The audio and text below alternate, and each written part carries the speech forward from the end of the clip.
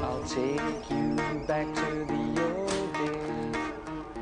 And this is what he said.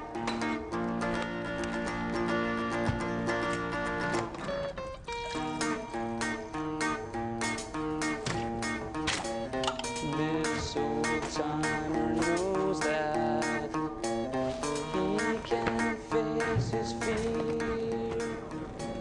Smokes the John Player. It's the best it's gonna get. Yeah.